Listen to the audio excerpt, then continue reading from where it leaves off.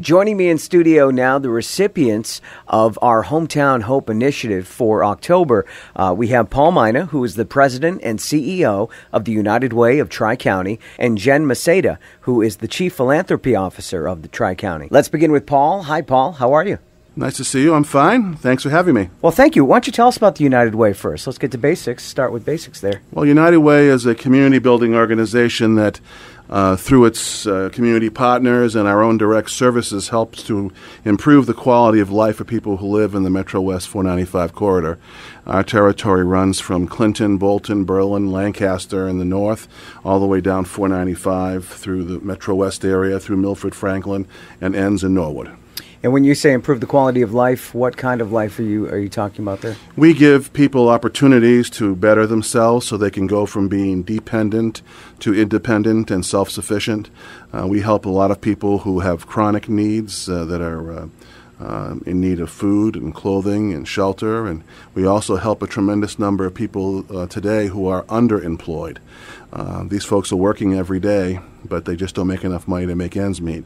So when I started 35 years ago, uh, we were just helping those in chronically in need. Now we're helping people who are uh, underemployed as well. Yeah. Well, it's not. You know, most of the time people are um, in these positions because of just bad breaks. Sure. Um, you know, their jobs, they lose their jobs, or they have a, a, physical ailment, or they become handicapped. But there are folks that are born with the inability to take care of themselves, and we have to help those people too. So, uh, you know, we provide a wide range of programming, and uh, it's uh, the largest charity in the world. United Way raises uh, worldwide uh, $4.5 billion a year. Wow. How many people would you say you see come in and out of the office on a daily basis that you're helping? Well, through our direct services, uh, we are we're helping thousands of people every month. Our three food pantries uh, are feeding. Well, we we, we distribute over 1.7 million pounds of food every year out of our three locations: our Pearl Street Cupboard and Cafe in Framingham, uh, the Marlboro Community Cupboard in Marlboro, and the uh, Clinton Community Cupboard at the Wheat Program in Clinton. So, um, you know, we uh, we also fund programs here uh, in, in, Milford. Um, the Milford Youth Center has been a partner of ours for many years, mm. and uh, we have a long-standing relationship with the hospital and other the, the selectmen in town. So, um, you know, we uh, we get around. what do you do with the youth center? Talk more about that.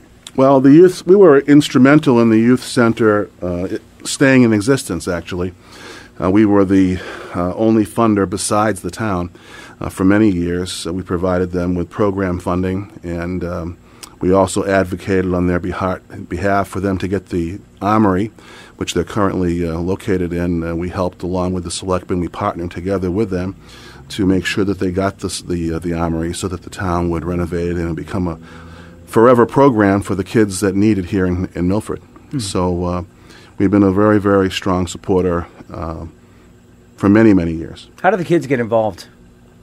Well, there are kids in this town that can't afford the great programs that you pay for. Uh, so there's a, a, tremendous need for a place for kids to go after school during the summer for families that just can't afford a high priced program. And uh, the Milford Youth Center offers those opportunities for them. It's uh, sliding scale, or if kids can't afford it, they find a way to help them to go for nothing if they have to. It's a very, very good organization. They have a board of directors that's made up of the uh, Youth Commission here in town and um, I think you'll find that uh, the place is packed when it's open, and the grand reopening will be happening this fall. That's exciting. So it's very exciting. How can people get in touch with you or get assistance from you in the United Way? You can call the United Way anytime at 888-811-3291, and that's our toll-free number from anywhere. Uh, we're happy to do whatever we can. We also run a program called Massachusetts 211, which is the um, statewide information and referral program where you can call for free from any telephone, cell, or landline uh, anywhere in Massachusetts, and uh, we can answer any questions you have about anything related to human services. We can tell you what you qualify for, what services that you may be able to get. Uh, we can also help you and refer you in the right direction so you can get assistance for yourself or other members of your family. And we're also the official hotline for MEMA the Massachusetts Emergency Management Agency. During times of emergency, the governor will say on television for official information, call Mass 211. We also are the official child care hotline for the state. So, and also, uh, unfortunately, we have a contract as well, uh, or fortunately, to be the official runaway hotline in mm. Massachusetts. And um, you know, we're glad to be doing that, but it's unfortunate that there are so many kids that do run mm. away. So um, that's what we do. They can get help by going on to the website as well at www.uwotc.org or 888-811-3291, and we'll be happy to help. Sounds like you're constantly growing. Well, we have. And with that, you need funds, of course. We do. And you have some events coming up. Jen, you want to jump on the mic over here and talk about one of the events? Um, so we have the 70s, 80s, 90s costume bash. It's on October 23rd. It's at the Sheraton Framingham. Um, easy to get to, right off of Route 9. They're great partners of ours. They are throwing this high energy dance party. Uh, this is our second year doing it. So uh, we had some great feedback yet last year that we should really expand this. So we've expanded the generations from the 80s to the 70s and the 90s. Nice. So we've got three generations coming. Um, we're expecting over 250 fans of the United Way, and all the dollars raised are going back to the food pantries that we support. And we don't just support our direct service food pantries, but we also connect most food pantries within the Metro West area with food from the Greater Boston Food Bank. So um, we're fortunate to be able to serve those within the Metro West community, and we need people to come out, have a good time. What better way to give back than than in a really fun. You don't That's even right. have to wear a costume. But you should. So, you you Dress can. is your favorite decade. The, absolutely. Yeah, we're having Team 70s, Team 80s, and Team 90s. Um, follow us on Facebook. Follow us on Twitter.